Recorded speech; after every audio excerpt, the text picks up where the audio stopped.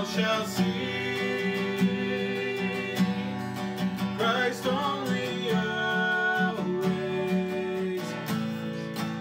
living in me. Father, we we make this this song our prayer this week. Father, mold us and shape us so that the only thing people see is you. Let us be a reflection of your light and your glory to those around us. Let us be a light to draw people closer to you this week. Give us opportunities to talk to people about the gospel. We love you, Lord. In Jesus' name, amen.